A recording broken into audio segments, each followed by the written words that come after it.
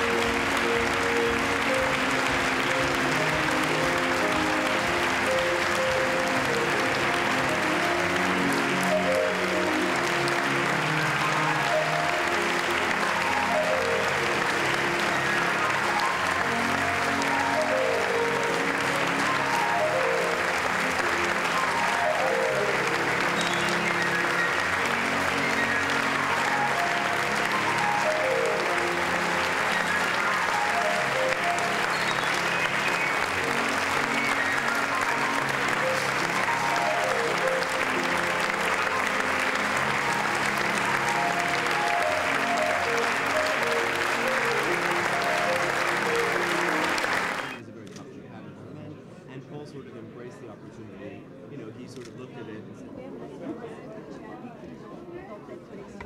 that idea of a man and his way of getting dressed, his sensibility, the kind of rough and the kind of hedonistic uh, decadence. I mean, all of that I think is a very sexy style and one that suits Vuitton very much, and, and so therefore one that Paul chose to be inspired by this season.